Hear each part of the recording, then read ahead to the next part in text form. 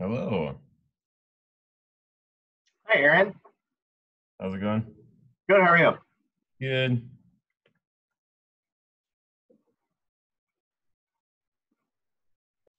All right, Brandon.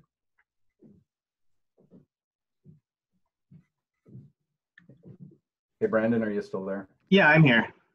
So uh, you're going to be monitoring the chat. So if there's any questions, right? Angela will sort of be doing that, but I'll be I'll watch it too. All right, because I'm not looking at that at all. And Yeah, you guys don't have to do that. We'll take care of that. I appreciate it. Yeah, absolutely. We, um, we had a few questions submitted in advance, uh, mostly for, um, we've got two Joes with us today, mostly for Joe Parisi.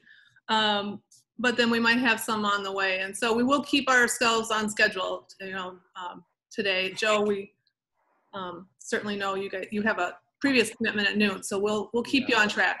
Okay, great, thanks.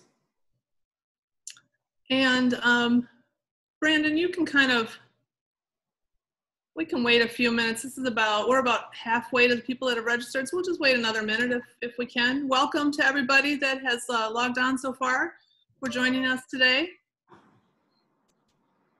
I believe you said there's about 80 or so people that registered today. That's right. Mhm. That's great. We also have um, Fact TV with us, which is our uh, community access network. Um, Joe and Scott, and so they are recording the video and they'll be sharing it um, multiple times with our, our resident community too. So Great.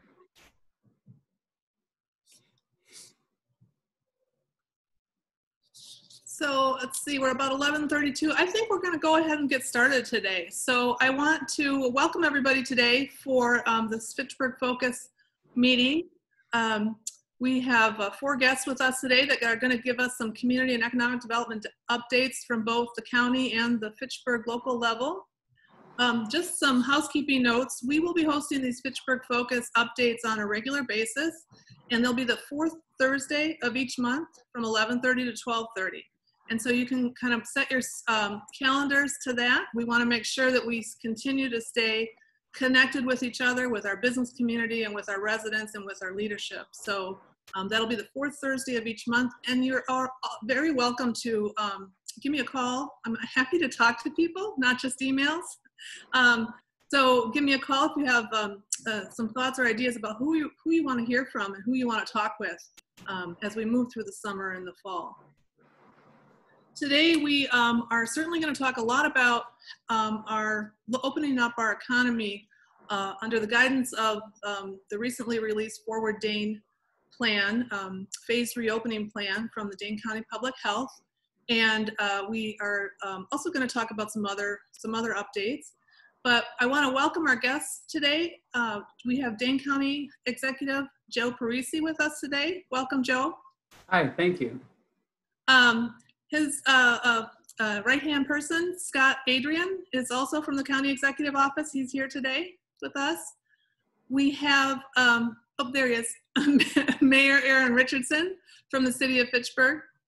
We have our Fire Chief, Joe Pulvermacher from the City of Fitchburg, and our City Administrator, Pat Marsh from the City of Fitchburg. So thank you all for joining us today.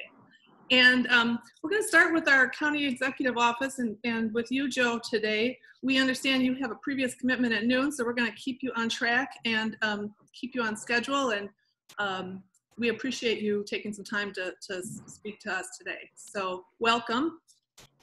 Well, thank you very much. I, I really appreciate you you allowing me some time to, to come and talk to everyone today.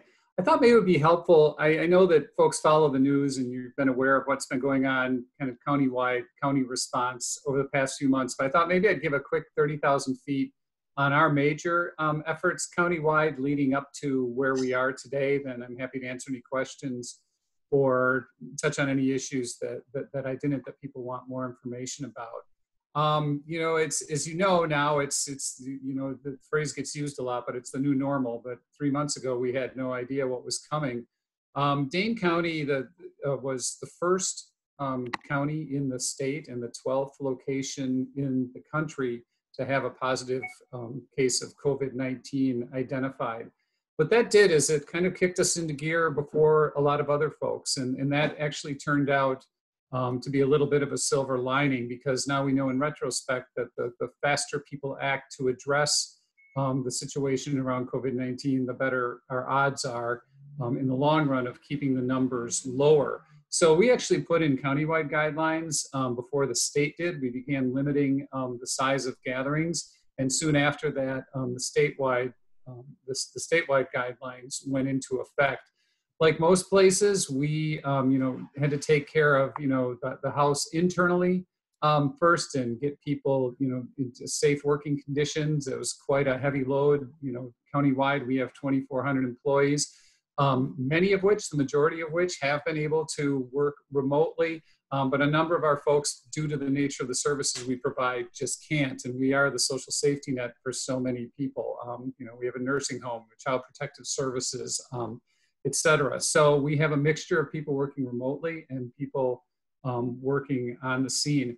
One of the first things we needed to do um, when it became evident that we had community spread and we all became more aware of how, how it is spread and the challenges of having you know congregate settings and large numbers of pieces, people together was we looked um, to protect our more vulnerable populations. And one of the more vulnerable populations um, is our homeless um, population, particularly um, when folks are spending days and nights in shelters, um, in close quarters. Also, a lot of our, our neighbors who are experiencing homelessness have underlying health conditions um, due to the circumstances in, in which they've, they've been living um, and, and the poverty they've experienced. So what we did initially is we moved to get every single family that was in shelter into hotels. Um, we did that relatively quickly, and then we set out to identify the single um, folks who were still in shelter who had the worst of the underlying health conditions and to move them into hotels. As of today, we have over 400 individuals that we um, are, are putting up in hotels across the county. Um, we're keeping them in hotels, providing um, some, some wraparound support, making sure they have enough to eat and that there's counseling available for them. And what all this movement has done is it's freed up space um, in the shelter system so that we can um, achieve um, safe social distancing in the shelters. So, you know, the folks who were involved in that really did an amazing lift and I believe likely saved a lot of illness in, a lot of lives. And so they really deserve a lot of credit. So another thing we saw was a lot of people losing their jobs really quickly. And we saw the demand for basic necessities, food, shelter, et cetera, um, increase sharply. So we set out initially to help on the food side of things um, by partnering with Second Harvest Food Bank and we were faced with a situation, ironically, in which we had a lot more people um, in need of assistance with food when we had our farmers having to dump milk because of supply chains that were broken and, and, and demand that, that, that, that they had disappearing overnight. So we successfully built a bridge between our farmers and local growers and the community of folks who need a little help with food. Um, and we partnered with Second Harvest Food Bank um, to the tune of $3 million over the next 90 days um, to procure food for folks in the community who need it and to get as much as they could locally. And our initial um, reports are that about 95% of the food so far that's been um, purchased with those funds has been sourced locally. So that's um, a way that we can get a little bang for the buck with the dollars that we're investing, not only helping the folks who need food, but helping those farmers. Um, and just like our farmers, as, as, everyone on this call knows all too well, our, our local businesses have suffered greatly during this pandemic. So we also launched a small business relief fund, um, the total of which is, is now $10.8 million invested, um, partnering with Dane Buy Local to distribute grants to um, locally owned um, companies to kind of give them a lifeline to help them as much as we could um, survive through the roughest parts of the pandemic. We did a similar program also with childcare providers because not only do they work on very thin margins and were hit hard, but we know that for any kind of recovery, we're going to have to have childcare um, in place. And in statewide and nationally, a lot of child care providers are in pretty tough shape. So we um, partnered with a $3 million grant with Community Coordinated Childcare, um, who is administering this grant. And basically we designed it so that every single one of the approximately 500 licensed childcare providers in Dane County will receive a grant. Um, and if you're a licensed childcare provider, you get the grant. It's, it's about that straightforward. and it's based on your size. The smaller, the smaller, smallest grants are about fourteen um, hundred dollars. The largest grants um, are fifteen thousand dollars.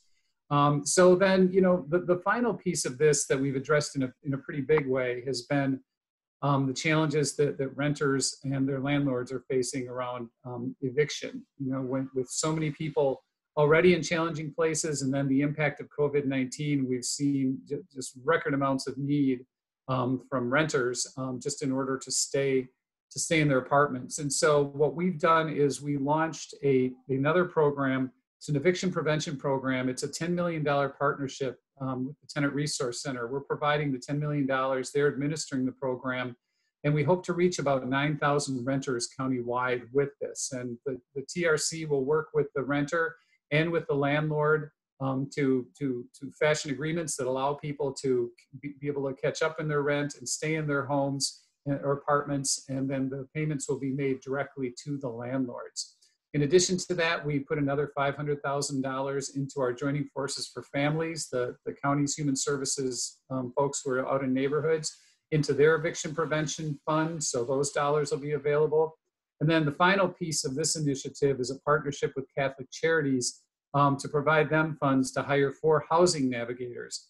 And what these folks will do is they'll work with the folks we have, um, mainly um, the, the people who are staying in hotels who are homeless, to work to connect them with landlords who are willing to rent. And to help them get started, we've also provided about $250,000 in funding that can be used for that you know initial security deposit and first month's rent because you know finding a place is one thing but especially if you've fallen on hard times you know having those first couple months of payments can be really challenging so we're hoping you know we, we can't fix everything but we're certainly hoping that these efforts will alleviate um, a lot of the challenges that are out there in the in the rental community and with people suffering from homelessness uh, i think i'll switch to the alliant energy center um, now just quickly so as you know, just like a lot of your businesses out there, once this hit and things started shutting down, everything shut down at the Alliant Energy Center. So we have done our best to um, utilize the center for COVID response. Um, it's being used by Second Harvest as part, part of our food partnership. They're warehousing there. We've leased um, four refrigerated semi-trailers for them to use for cold storage um, for the local food that they're procuring. Um, and as you, as you may know that the, the weekly um, farmers market on the square has now been moved to um, the Alliant Energy Center where people can go get it, dial in ahead of time and order their produce and drive through and have it put in their trunk for them. And then finally, we have a couple of directly COVID related, excuse me, um, initiatives going on there. It, the Alliant Energy Center has been identified as a place for field hospital should we need to stand one up. And, you know, with the guidelines being, you know, kind of thrown out the window, um, thrown out the window just basically with nothing to replace them, we're seeing record numbers of cases statewide. Um, so we really can't walk away from the potential that we might need to stand up a field hospital there yet. We hope to avoid it, but we have to be prepared because Dane County doesn't necessarily control all of our own destiny when it comes to hospital capacity because particularly UW hospitals, you know, so many people feed in regionally from other counties and from other states. And as you're likely aware, we've also um, partnered with the National Guard to stand up um, a, a, mass testing facility there. And so I would encourage anyone who hasn't, if they'd like to get tested, it's really easy. Um, a COVID-19 test, you can just drive in, you stay in your car, you get the test, and within a couple of days you have the result. And that mass testing was, was kind of the last really important piece we needed before we could move into our phased reopening into phase one, because we were meeting the metrics that public health felt we needed to meet, um, except for the number of tests we were, we didn't have a big enough sample.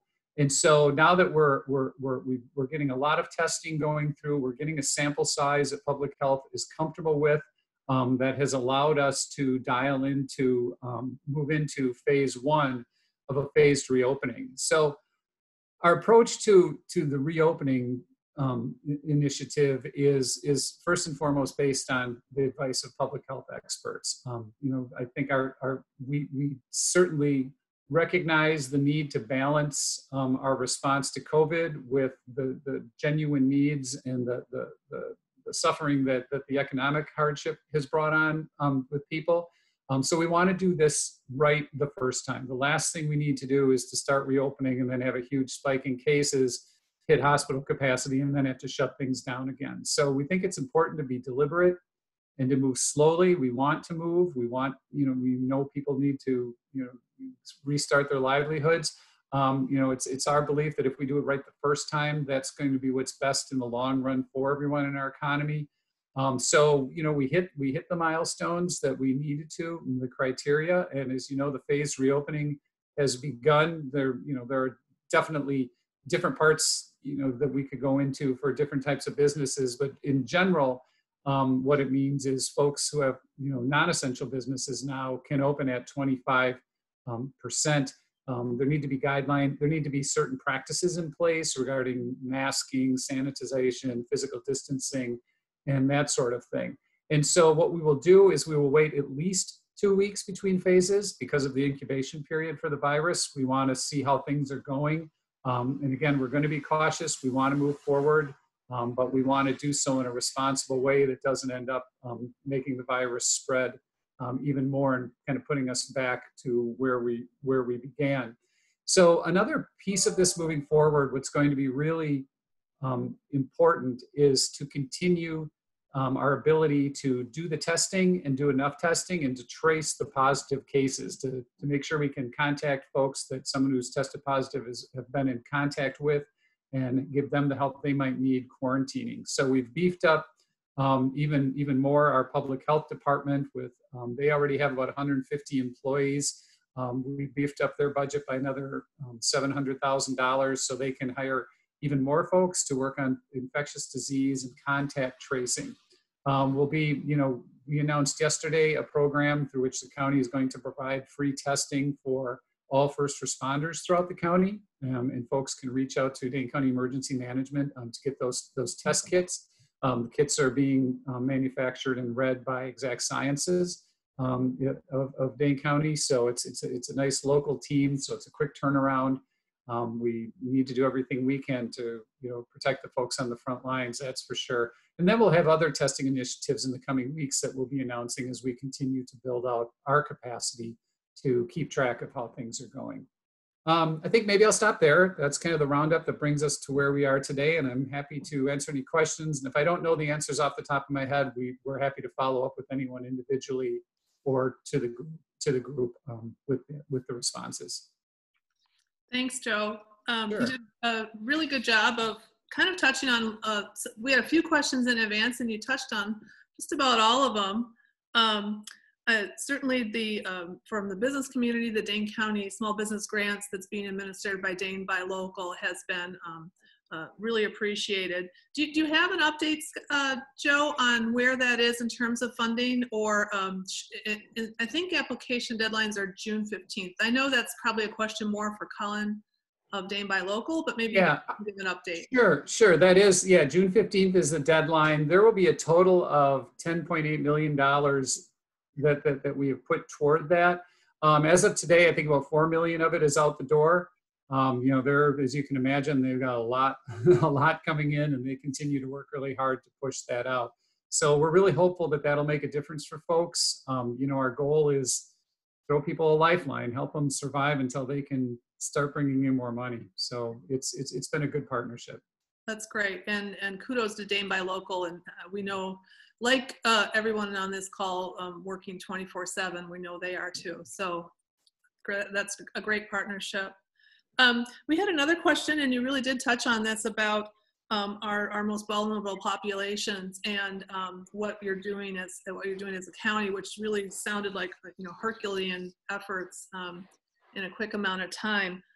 But uh, the question also centered on what would you like our residents and our businesses to think about, um, you know, for our most vulnerable populations, and um, are there people that we could connect with to assist?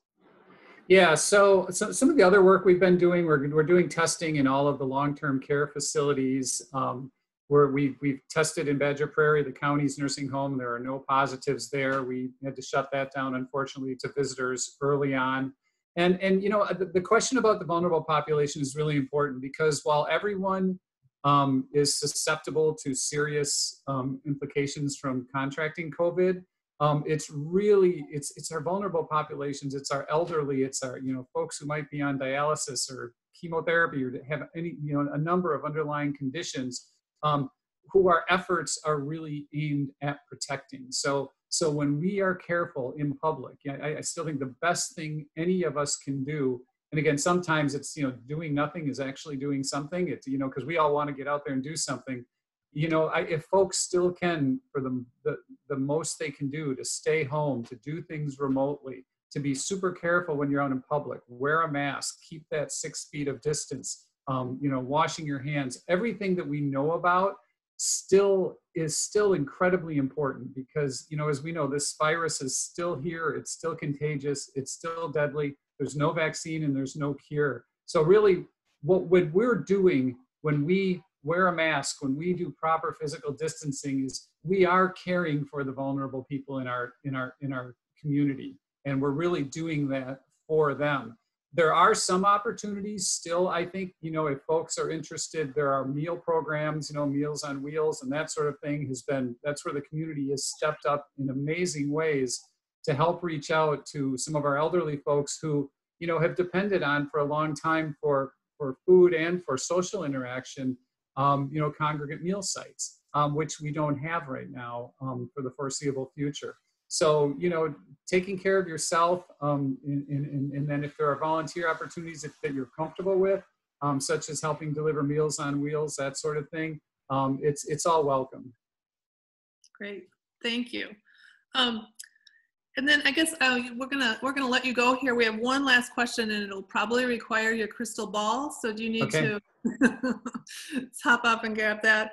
But you know, uh, it's summer. It's Wisconsin, and so um, people are looking ahead and um, looking at our events that we uh, make up such a part of our identity, right? As um, as Wisconsinites. And uh, this question was about um, again really concerned for some of the artists, the charities, the nonprofits that benefit from a lot of these events.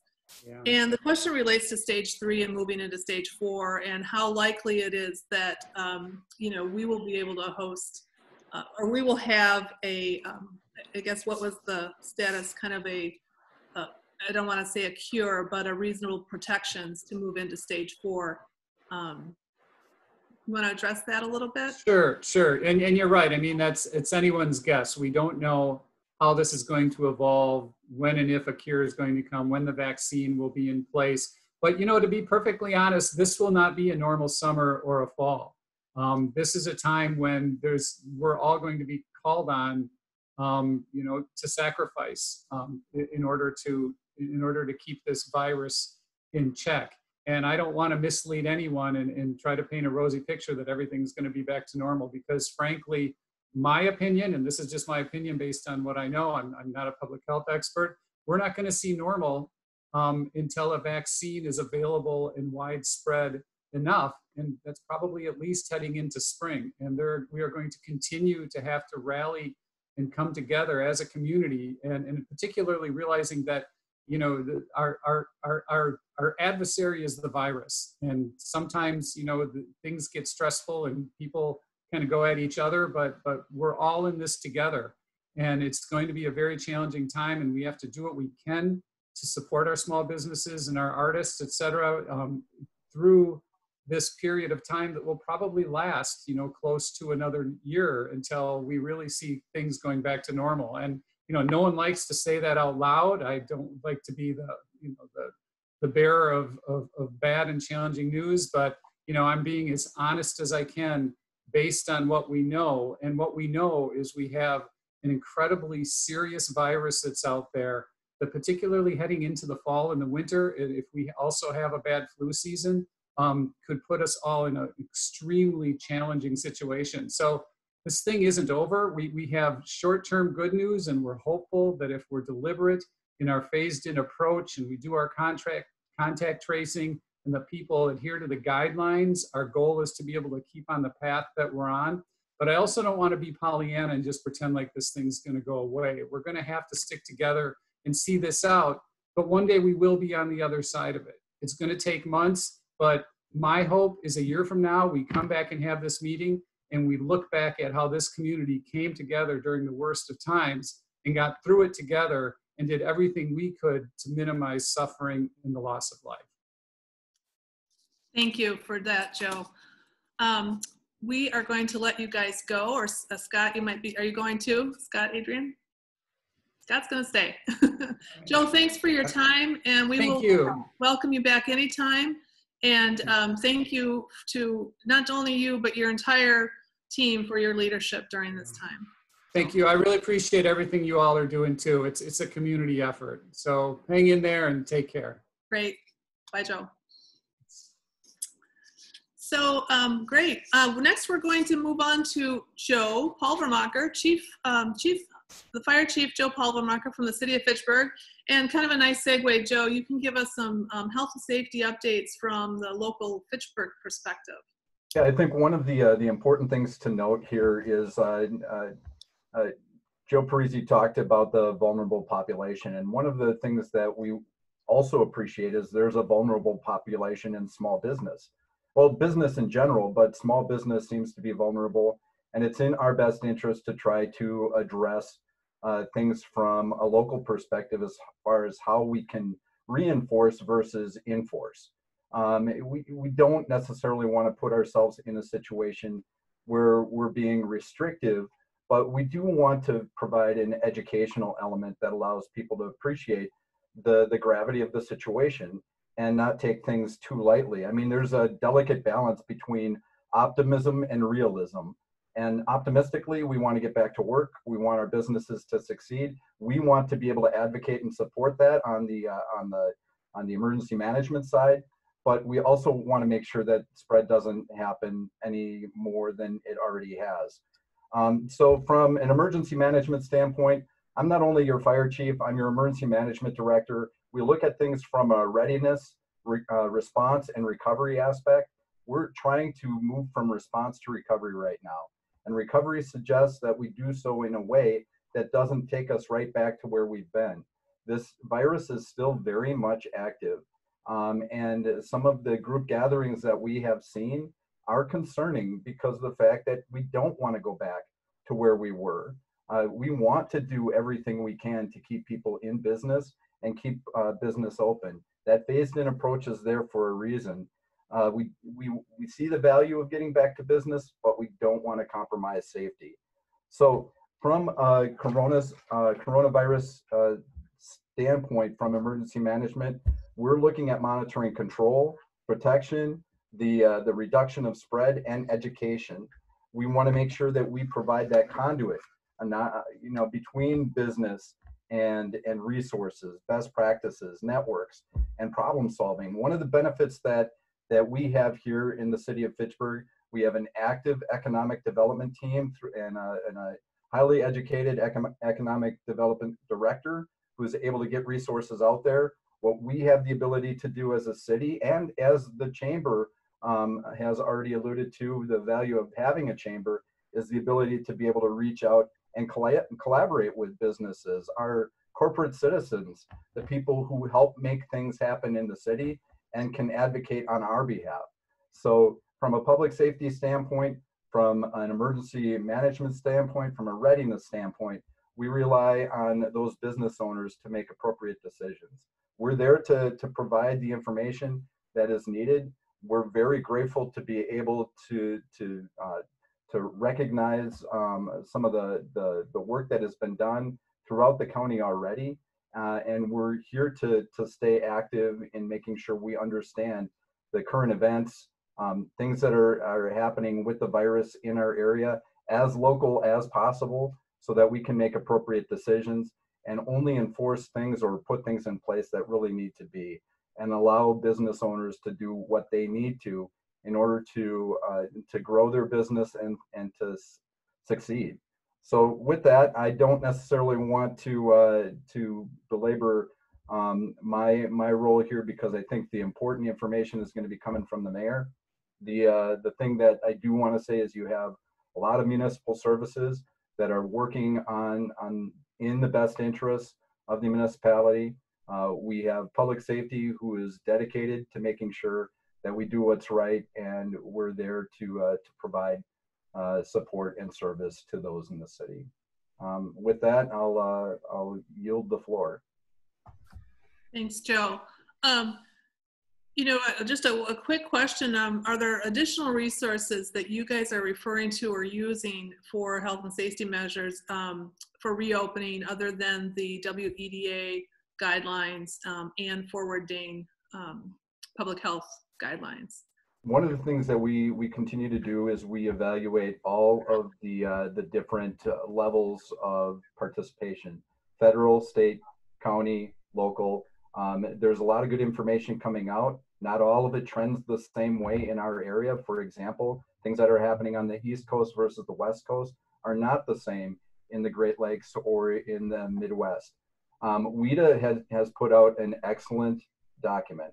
We are using that uh, extensively, but I can tell you that uh, the City of Fitchburg Economic Development Director is doing his best. Mike Zimmerman is doing his best to stay on top of all of those things that are available to uh, to business and small business. Great. Thanks, Joe. Um, I think we'll move on to uh, Mayor Richardson now. Welcome, Aaron, Mayor Richardson. Um, thanks for joining us. Um, why don't you, we did a couple of the, the city, um, as Joe alluded to, the Economic Development Department and, and the Chamber have been really talking uh, daily with dozens and dozens of businesses um, since you know the mid mid March during this pandemic. And um, uh, last night, or was it last night? Two nights ago, um, council uh, approved a couple of items that were that uh, we are hoping um, based. You know, those programs were designed based on on business feedback, right? Um, what they could use right now. And so, why don't you talk to us a little bit about those? Those things and any other updates we have from the city um, that would businesses for business resources or assistance. Yeah, I'm really excited about these two programs that we approved Tuesday night at our council meeting. Before I get into those, I really also want to thank uh, Joe Parisi and his office and staff for all the work they've done in leading the whole county during this time. It's been extremely challenging, but I think that you know you see how fortunate we are to have such strong leadership. So you know, again, thank you, you know, Joe and the entire staff. And really, from a city perspective, I don't know how much people in the community recognize and realize how great our staff has done throughout the board. Every single department has really stepped up to continue operating and providing the services that all of our constituents need, whether it's emergency services, uh, Mike and Joyce working with the business community, and Angela, who you know all, all know and love. Even people like our IT department to get the resources to our staff so they can work from home and don't have to come into the office. So you know, really every single department has been able to really step forward, and we're really fortunate actually as a city. So, thank you to all those people. Uh, two programs I really want to talk about right now. The first is uh, you saw in today's paper, Madison just yesterday uh, expanded outdoor seating for bars and restaurants. We were actually ahead of the curve. The article did not give us that credit. That's okay. I'm okay with that. Uh, but Tuesday night, we've been working on this for a while for bars and restaurants, you know, in phase one, they can only open at 25% of capacity inside. And we've heard from some businesses that that really isn't enough for them to make it worthwhile.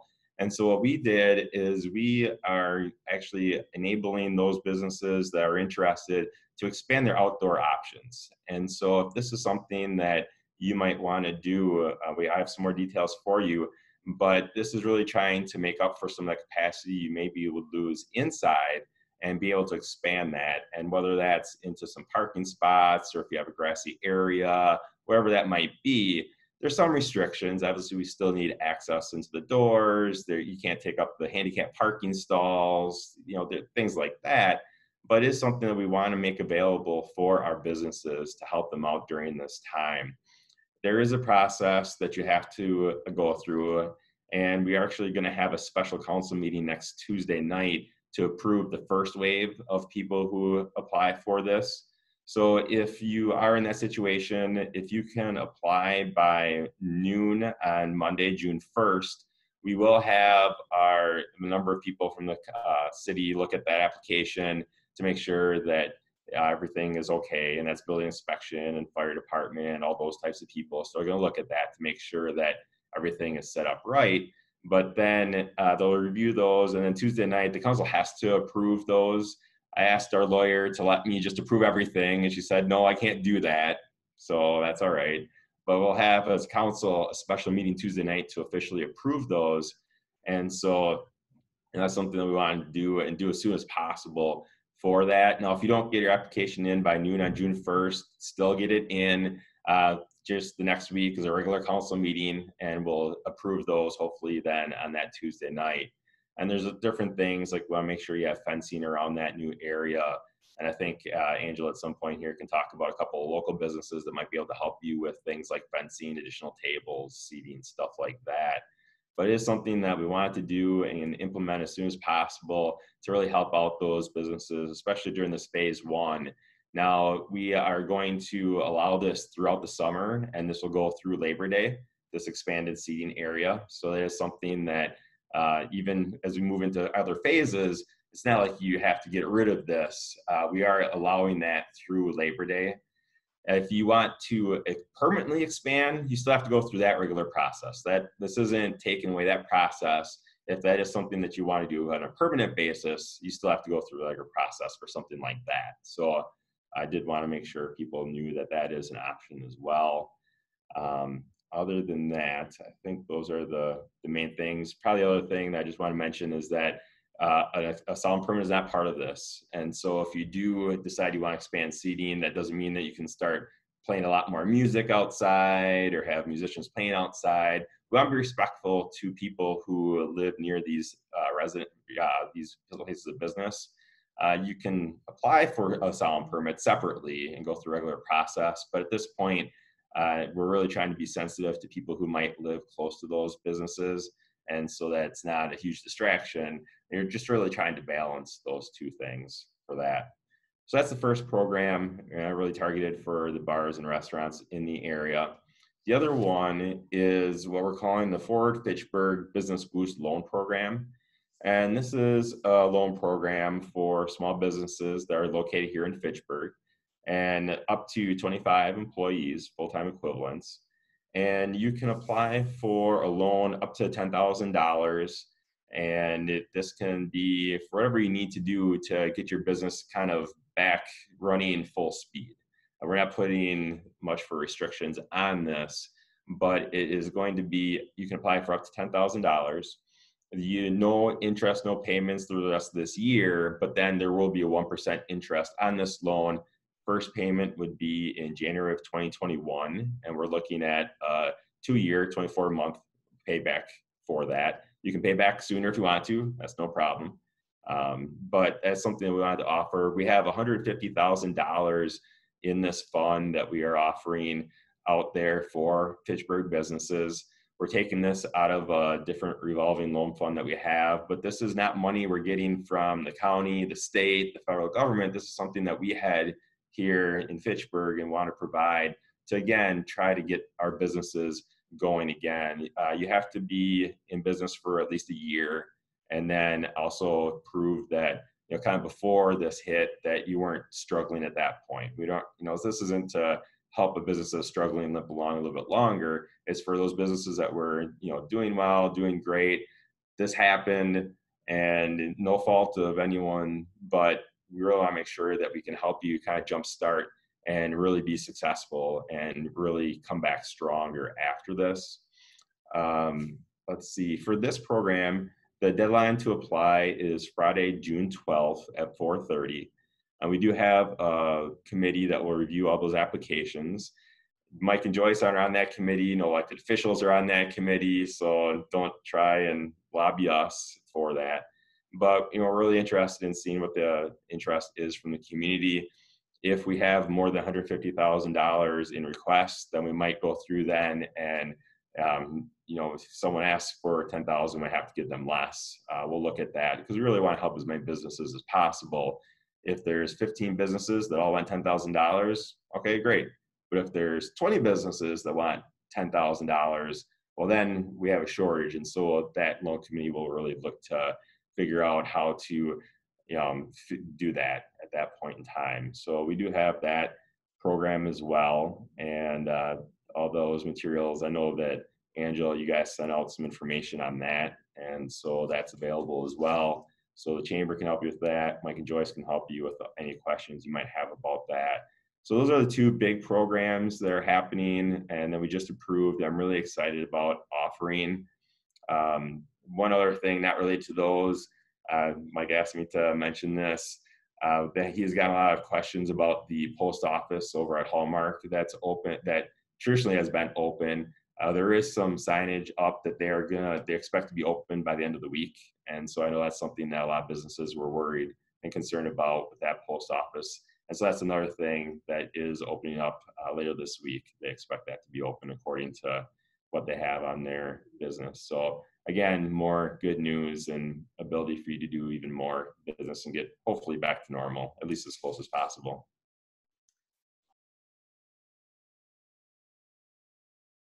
Oh, Angela, you're on mute. There you go. Thanks, Aaron. Um, you know, as far as that business boost program, one of the things that people, you know, some people might not be aware of when we were talking to business owners, um, you know, the, the it, it's not just about the lost revenue during this closure, but the impact on um, putting in safety precautions and um, sanitation measures to open safely. And so that's a that's a fairly finan- big financial impact in and of itself. Um, and a lot of our most all, all of our businesses, I would say, have really taken a great care and concern to do what they can to um, put as many safety measures as, in place as possible under the guidelines that that we've just talked about. But um, you know, just talking with one restaurant owner, just buying enough hand sanitizer for um, you know daily use by not only all the employees but customers you know that that can be hundreds of dollars a month alone so it's um, you know anything helps and um, we are glad to see this this option available and um, and uh, appreciate council's quick decision on that so thank you anything else from the mayor I don't have anything right now, but if there's questions after Pat's done, I'm happy to answer Okay. the questions then. Well, then we will um, finish up the hour with uh, City Administrator Pat Marsh. And um, Pat, um, w- some of the questions we've been getting um, have been things like uh, like uh, the question about the post office. Uh, you know, what's going on at the senior center? What's going on at the library? Um, what kind of opening plans do do those city departments have? So, any anything you want to share with us on that? Yeah, definitely. And uh, thanks, Angela, for coordinating this. And uh, I'd like to echo what Mayor Richardson said. Um, You know, it's, we're in this position where we're gaining ground because of great leadership uh, through people like County Executive Parisi, our mayor here and council. Uh, We've, things have changed a lot in terms of the way we're operating, obviously. But as the mayor noted, we are getting uh, the work done. We are serving our customers, which are our residents and our businesses on a daily basis. And um, that's something we really want to continue the, uh, to improve on. But um, at this point, I'd like to just start with um, stating that, um, you know, we have 270 employees in the city of Fitchburg, and I'm happy to say all of them and their families are healthy right now and uh, that's all good news. And uh, you know, we wish the best for uh, all of our residents out there too. Um, the current situation we're in, which the mayor noted earlier, is that the majority of our staff is working remotely. Those that can work remote, we obviously have police, fire, EMS, uh, public works that are out on the streets, and and they're um, they're working uh, somewhat normal, I guess if you can say normal at this point in time, but they're responding to every, you know, emergency situation as if it was just three months ago. So a lot of credit to those individuals that are uh, basically putting themselves out in front of this storm and uh, doing a great job. Uh, in terms of the city city hall facility, uh, we are we are closed now to the public. Uh, But we are uh, operating uh, by appointment only for people that would need things like um, building permits. um, They would need any zoning um, changes or uh, applications for zoning amendments, things like that. People that need to come in for their pet licenses, register to vote, all that stuff you can do by appointment at City Hall. The uh, library, um, one of our facilities um, here on our campus, is locked down a little bit more than that. Um, They are doing um, uh, pickups for our residents and uh, people that use our library. They can pick up their books on a uh, drive-by basis. We're not taking any returns at this time, but um, uh, you know, it's, it's the best that we can do, and we're sort of following the county's guidelines when it comes to the library and the senior center because of the, uh, you know, we're not, we're not experts in public health, and, the- and the county does have some of those experts. The um, senior center, which probably get, is getting the most attention and the calls, I think a lot of those seniors out there are missing each other, and for good reason. You know, that their interaction is something they look forward to on a daily basis here, and our senior center staff does a very good job um, working with them, not only on a social basis, but also working with them uh, when it comes to uh, counseling, uh, personal hygiene, uh, assisting them in other ways, whether that be housing or meals, etc. So that's something that um, we're getting a lot of calls from the senior population about when are you going to open? You know, when are we going to have our exercise classes? All that, those good things that they look forward to. But we got to remember too that um, we we need to be very careful with that population. That's a population that's very much at risk, and we do not want to put them in a situation that's any more um, dangerous than we need to. So we're gonna we're gonna follow the county's lead when it comes to the senior center. I know our staff's chomping at the bit here to open up too. They miss they miss the uh, seniors and recently had a parade, drive-by parade for our senior uh, residents so that they could, you know, at least make eye contact with individuals. Um, I guess moving forward, what we're doing moving forward, and that was more of the question, so I apologize on taking a while to get to that. But moving forward, uh, we're looking at a soft opening July 6th.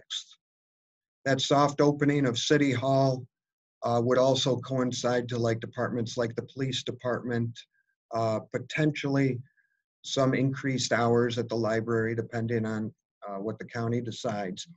But on July 6th, we plan on opening up from 8 to noon and we would have coverage within all departments.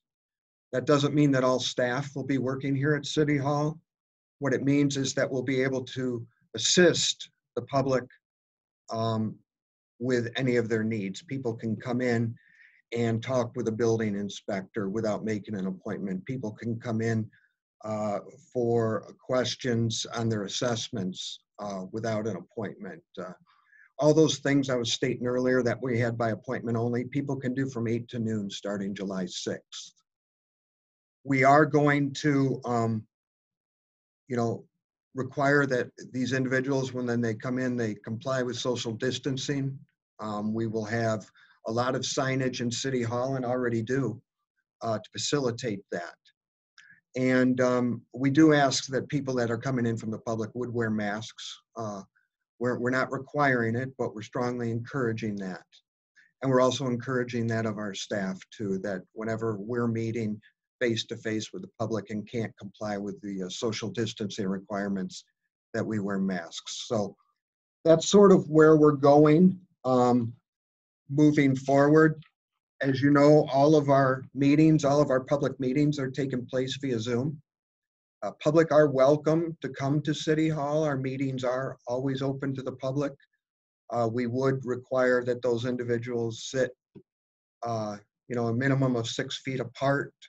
We do have overflow rooms with uh, uh, TVs so that we can keep uh, the room capacities at 25% or, you know, thereabouts. Um, we just want to keep those meetings safe as possible. Not many individuals have taken advantage of those meetings to date. Most are watching them via FACT TV, and we're that's a great asset to the community. But um, if anybody did want to come in, I didn't want to think them to think we were restricting that. So um, that's where we're at, and that's where we're going. Angela, I would be happy to answer any other questions you might have.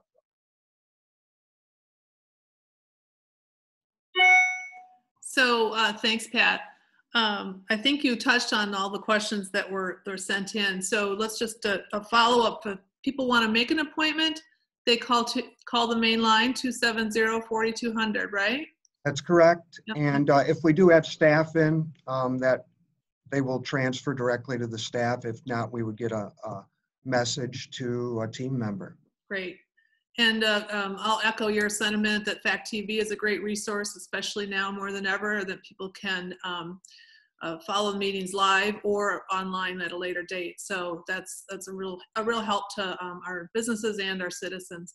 We did get one question, and uh, Mayor or Pat can answer this. Um, thanks for doing this webinar. We really love this city. Are there any specific things residents can do to contribute and support the city during these three phases? How often do you get that question? Yeah, it's, it's good to hear, it's good to hear the positive comments, but I'll let the ma, I'll let the mayor answer first. Yeah, I think, you know, right now, the biggest thing is supporting the Fitchburg businesses that are, you know, slowly opening. That's probably the biggest thing for me is just as much as you can support those local businesses. I know that, you know, there's a lot of people out there in the community that, you know, are, are struggling a little bit at this point in time, but we do have resources and the county's been great in providing some of those resources. Um, I think, you know, maybe the senior center might you know need some volunteers once in a while to deliver meals or i know there's some people that they kind of contact once in a while just to make sure that the people are doing well. Um, so i think you know the biggest thing is really supporting local businesses as much as possible. If i can you know i think joe maybe has some has something to say too Yeah, I, and, and if I could just add to that, I, you know, I think the number one thing we need you to do is to be patient in regards to some of our openings of our facilities. We're getting a lot of inquiries about, uh, you know, Parks and Rec programs, uh, splash pad, restrooms, you know, all things that the people of Fitchburg have learned to love. That's one of the great things about Fitchburg is we have great uh, programs, we have great outdoor facilities. But we need to make sure that we're complying with what the county's doing with these phases and make sure that we're opening these facilities safely. We do not want to put the public in danger, nor do we want to put our staff in danger. Excellent, thank you. Well, this looks like a good place to wrap up. I want to echo um, uh, Mayor Richardson's sentiment about supporting local businesses. Um, that includes, uh, uh, you know, supporting them in person, curbside pickup, delivery. Uh, it also includes online shopping. We we have a lot of our businesses have moved swiftly to invest in um, platforms where you can get the same products and or service uh, online. So um, it's just as easy to shop online with a Fitchburg business as it is maybe a, a national company. So um, we appreciate everybody's time today and uh, we will certainly stay in touch.